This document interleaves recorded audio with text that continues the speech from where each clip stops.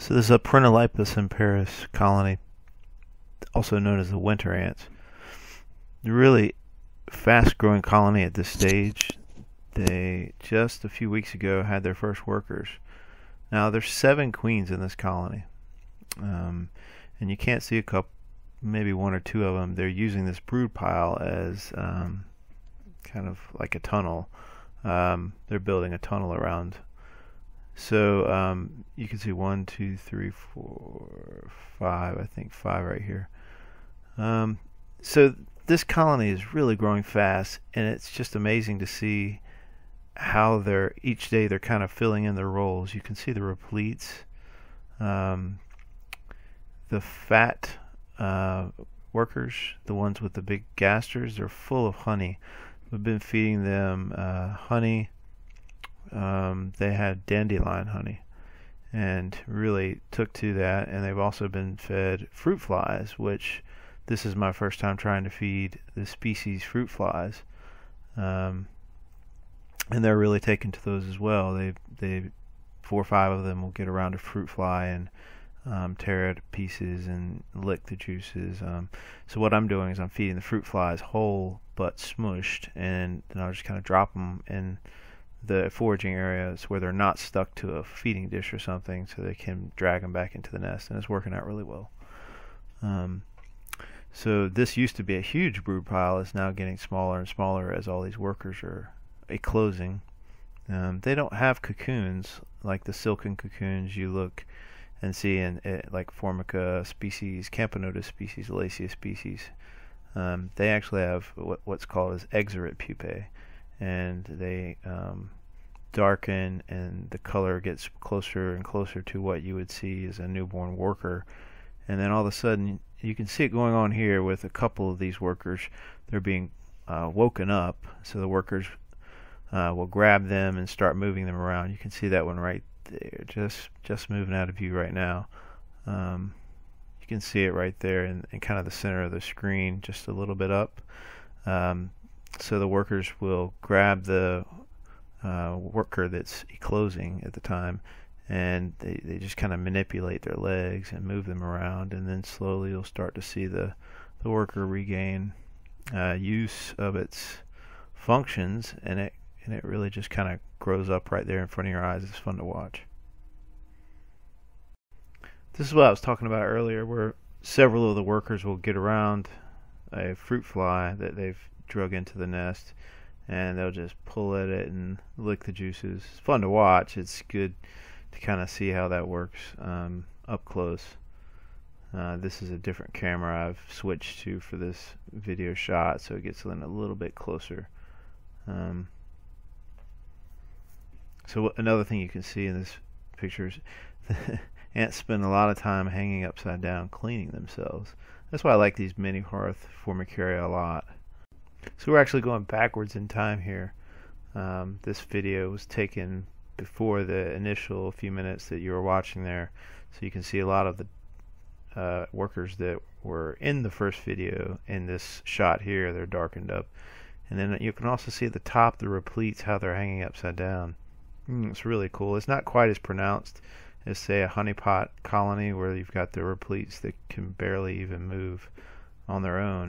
So this terrifying little scene here is this is one of the major benefits of having a camera that you can really get macro shots with. So what they're doing here, they're actually eating one of their workers. Uh, this is a little group of workers who have, I don't know if this worker didn't close properly or they just selected it for food prior to it closing. But um, this was what prompted me to start feeding them uh, fruit flies more uh, frequently. So I immediately fed them several fruit flies once I saw that. Uh, just something to look out for. You know, they will eat, you know, what they need to eat um, out of their own colony if uh, if need be. And these were the first repletes that we saw. Again, we're going back in time here th- through the beginning of the colonies, uh, early days of when workers were starting to show up. So um, again, you can see the brood pile growing. There's not quite as many workers at this stage as there were in some of the previous shots, but uh, it's interesting that there's so many eggs that I see here. In my colonies in the past that only had maybe two or three queens, you would always see a group of eggs and then they would slowly close until there's no eggs left.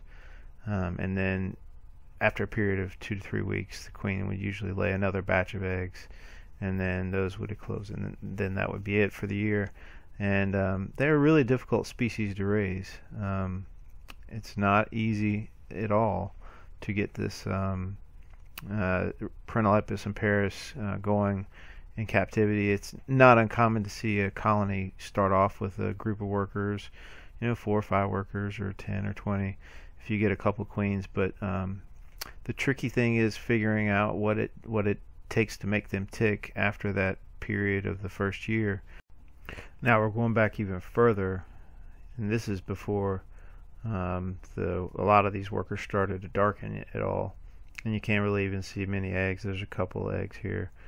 Um, so this is uh, right when the first worker actually closed. You can see in the very top left. So Prenolepis imparis is, is a good challenge for people who um, enjoy keeping ants. It might be on a little more of an experienced curve. Um, it's taken me uh, many years of keeping them to figure them out, and I've failed with all of my colonies. Now, this colony has two older queens from two years ago, or um, so it's uh, it's something that you can uh, build the colony from year to year. Um, now, this may vary in location. There may be some uh, variations uh, depending on where you live. I don't know. Um, I've just try to experiment doing different things with them. I have been successful at adding s- some queens together from uh, different years that they've flown. And like I said, this has got two queens from two years ago and um, uh, six queens from uh, this year. And it's working out really well so far. Um, as you can see, this colony started off um, with just two workers, and I think that is another reason why they uh, were so successful. Those two workers made a big difference. You can see them climbing all back in there on the brood pile, taking care of the the larvae and the pupae and the eggs. Um, that makes a huge difference because you don't see these queens doing the same thing um, for the most part. They're very stationary. Um, this is what I like to call wiggling gasters. They they have this uh, whenever that light gets on them, um, for some reason they don't um, don't run away from it, but they start doing this gaster waving stuff, and it's like uh, some sort of communication between one another. Um, or maybe it's just a sign they're irritated. I don't know.